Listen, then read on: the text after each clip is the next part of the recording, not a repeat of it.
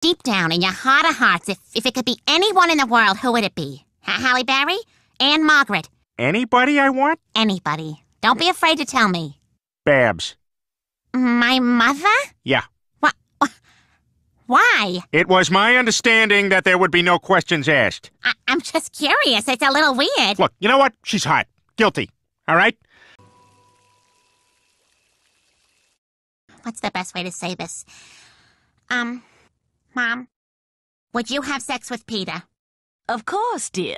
Really? Ugh, Carter's been most insufferable lately, and this would just stick in his craw. I like your freaky spirit, but it's your craw I'm after.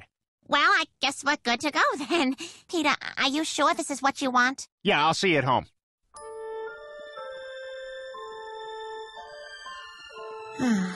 Lois, wait.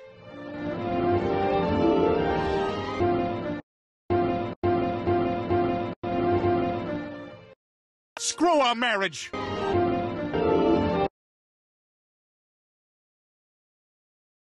You almost left without this.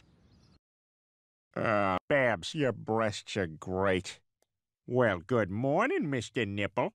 Hey there. Must be cold in here. What do you say we move south a little bit? There we go. Oh, you are so ready.